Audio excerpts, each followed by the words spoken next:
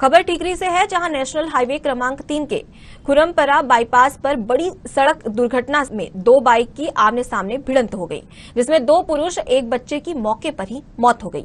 वहीं घायलों को जिला अस्पताल रेफर कर प्राइमरी ट्रीटमेंट देकर इलाज जारी है। बता दें कि दुर्घटना के बाद मौके पर राह से गुजर रहे लोगों ने मदद के लिए रुककर 108 और पुलिस को सूचित किया। वहीं पुलिस इस पूरे मामले की जाँच में जुट गई है।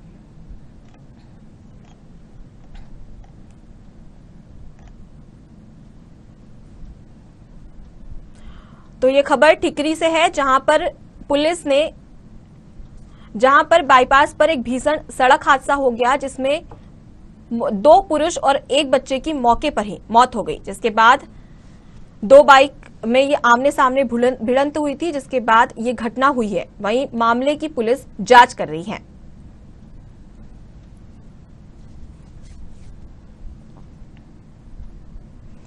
तो ये खबर मध्य प्रदेश के ठीकरी से है, जहाँ पर दो बाइक की आमने सामने भिड़ंत हो गई। भिड़ंत होने की वजह से एक पुरुष और दो बच्चों की मौके पर ही मौत हो गई। वहीं पुलिस ने पोस्टमार्टम कर इस पर कार्रवाई लगातार जारी है।